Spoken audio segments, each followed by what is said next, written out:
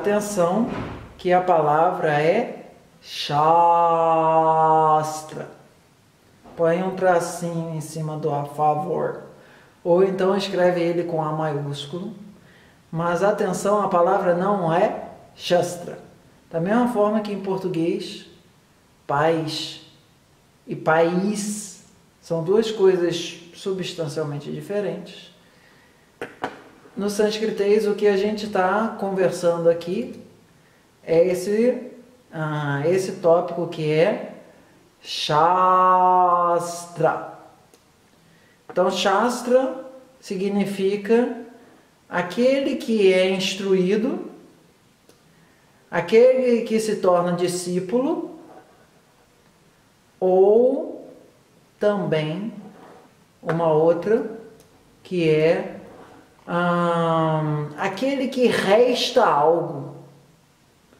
E esse resta algo a gente deveria fazer algumas considerações. No sentido de perceber que quando um mestre fala contigo, fica uma impressão. Fica algo que você vai levar para a tua vida, aquilo te marca. Né? No nosso dever de casa dessa semana, a gente está na sessão 11 agora, do, do capítulo módulo 1.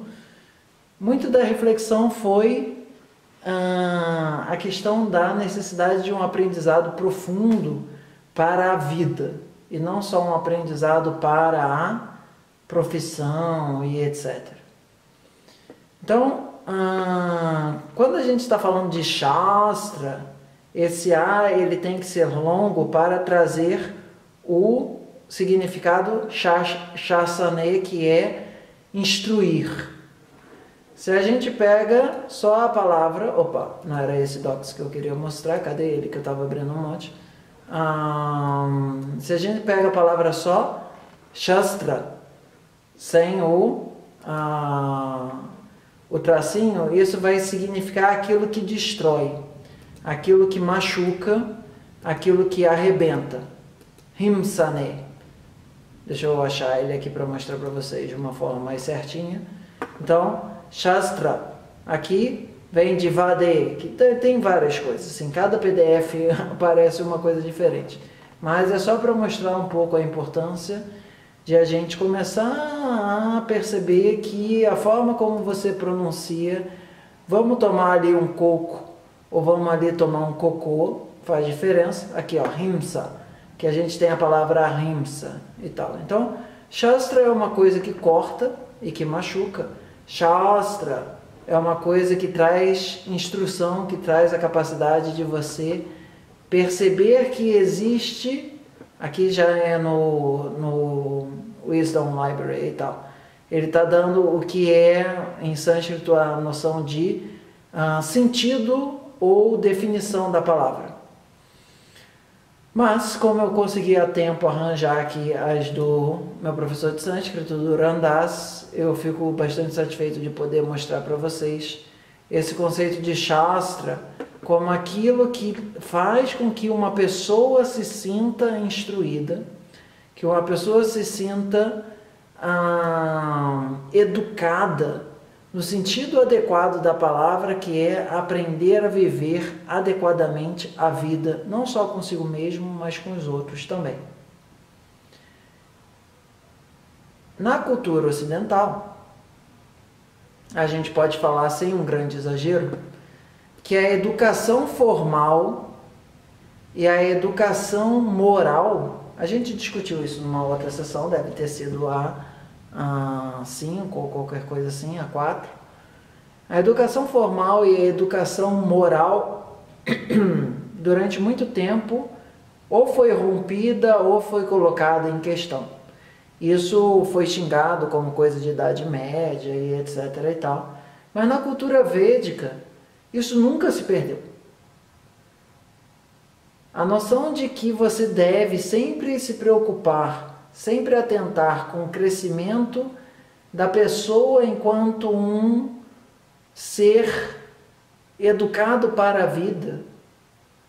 Está próximo ao conceito de Shastra no, na cultura hindu. Aonde, atenção, temos um todo um outro ponto importante que é você só aprende isso com o professor. Porque além daquilo que você está lendo, você precisa de ter o exemplo do comportamento na tua frente.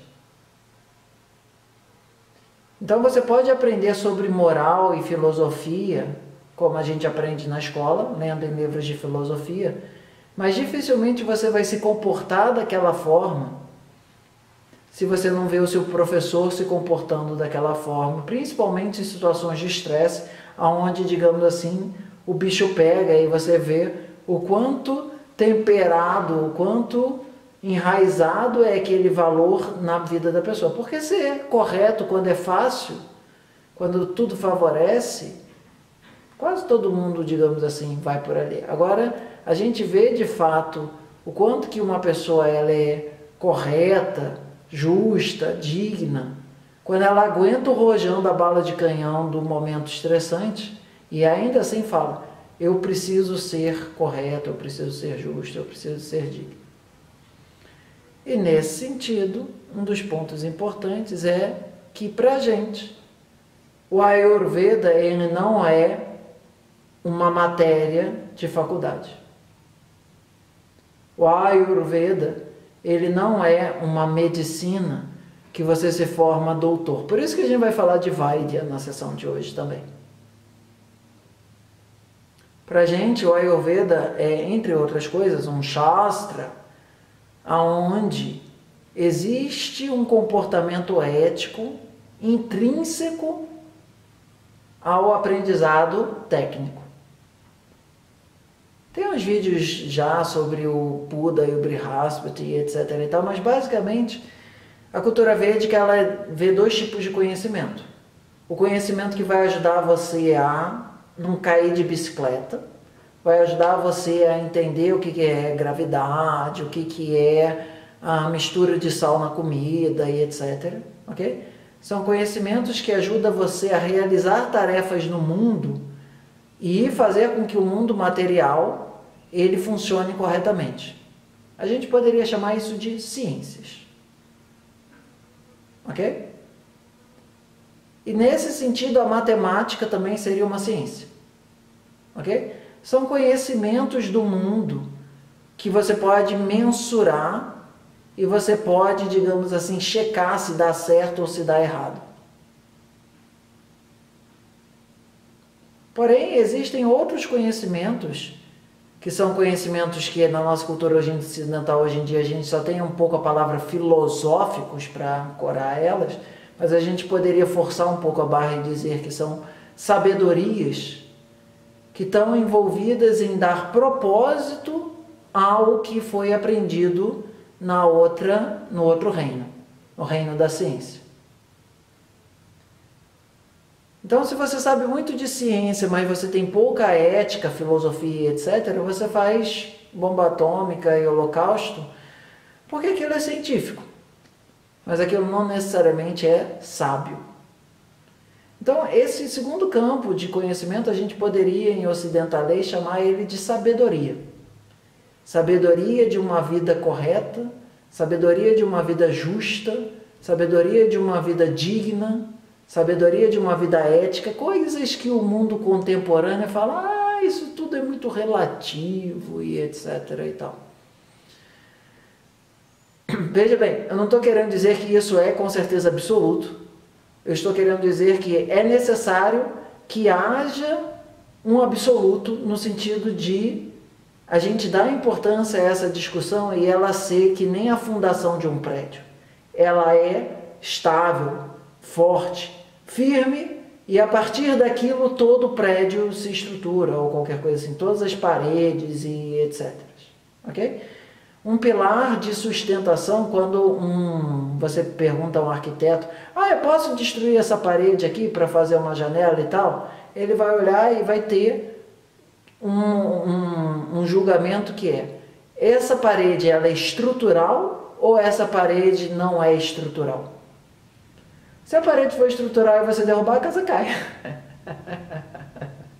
da mesma forma, Se você pega o conhecimento, digamos assim, a necessidade da discussão moral e ética, ou o que você queira chamar, e você tira isso da ciência, a civilização ela se torna um terror. Porque qualquer coisa é válida. A casa cai num sentido mais, digamos, ah, de problemas sociais, onde a discussão do certo e errado fica dissolvida demais, diluída demais. Ponto. em relação a Ayurveda, que tem um sonzinho longo também, não é Ayurveda, é Ayurveda. Isso é importante porque é muito fácil ganhar dinheiro vendendo remédio de calvície, ejaculação precoce, viagras e etc. Rugas. Não estou dizendo que ganhar dinheiro com isso é errado. Estou dizendo que trabalhar com qualquer medicina, inclusive o Ayurveda, para isso, a gente sempre deve ter uma, uma postura ética de falar: peraí, peraí, peraí. Antes de tudo, é necessário um código de conduta ético onde a vida da pessoa seja mais importante do quantos milhões está no teu bolso.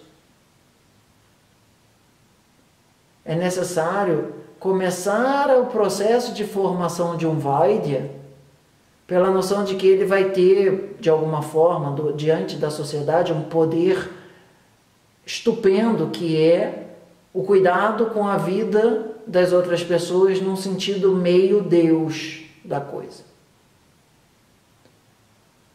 E da mesma forma como um, um, policial, um bombeiro e pessoas que têm um impacto muito grande em que a vida da pessoa possa ser destruída ou não, ou protegida, na perspectiva do, da cultura védica, os Vaidas eles são tal quais os guerreiros. Eles são protetores da vida, eles são kshatriyas. Isso significa que por um lado, como a gente estava falando na live, eu sei lá, de ontem ou de anteontem, da questão do. Uh, foi do Bhagavad Gita, né? Do 17. Do falar, ah, o médico ele não pode simplesmente, na hora que está o Covid na frente dele, falar, ah, encheu o saco, vou para casa. Não me telefona, não. Existe uma obrigação ética aí. Existe a necessidade de, quando a gente está falando de Ayurveda, questionar quanto que a gente pode ah, atualizar, contemporaneizar o Ayurveda para que ele se torne útil para a vida de hoje em dia, sem que ele perca a essência ética dele. E que essência ética é essa? Esse conhecimento não é meu, esse conhecimento não é do Charak, esse conhecimento não é do Atreya, esse conhecimento não é do Rugi, esse conhecimento não é do Vasantlada, esse conhecimento não é do Svoboda, esse conhecimento não é de quem você quiser chamar. Esse conhecimento ele vem de um espaço acástico, ele vem de uma consciência cósmica, que a gente aqui está só servindo como boca, da mesma forma como o rádio que toca para você aquela mensagem não é dono do, do que está sendo tocado. E principalmente, isso você põe aí fonte 108, quanto mais a gente percebe que esse conhecimento não só merece, mas a gente dignifica ele, a gente honra ele efetivamente, nos colocando a serviço para que esse conhecimento possa, de alguma forma, ajudar outras pessoas. Pagar conta tem que pagar conta também.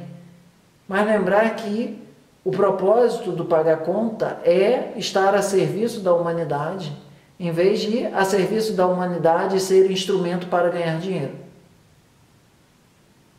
pode fazer bilhões com Viagra. Não tem problema. A cultura védica, ela não fala necessariamente de que você tem que ser pobre, ser rico é um, do ponto de vista de dinheiro na conta do banco, é um pecado.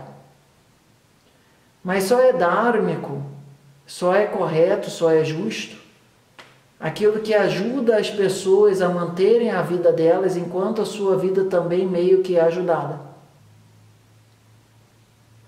Então esse conceito de Dharma, ele está muito por trás do que a gente chama de hinduísmo e etc, que é essa noção.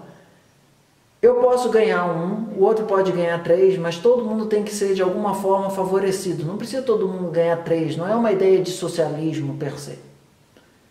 Mas é uma ideia onde, se você está tendo que ferrar o outro para conseguir o que você está buscando, isso provavelmente já não vai ser dármico. Provavelmente. Muitas vezes vai ter situações limites, mas a ideia do Dharma é existe a necessidade de se colocar a serviço da sociedade, a serviço da humanidade, com o conhecimento que você recebe.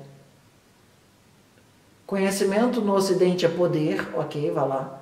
Mas no Oriente, em algum grau, conhecimento também é dever.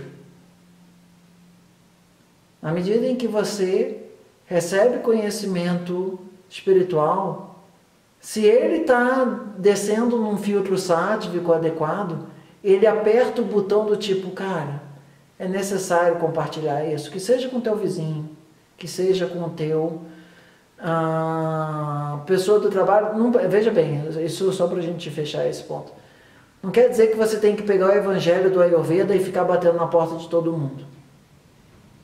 Mas todo mundo que quer, de alguma forma, receber aquela informação, cultivar esse desejo de estar a serviço e compartilhando com as pessoas que naquele momento querem, faz parte da vibração fundamental do Ayurveda. Bom, então vamos às perguntas aqui do chat. Teve um de Kali Yuga. Deixa eu responder isso daqui no offline. Namastê, galera.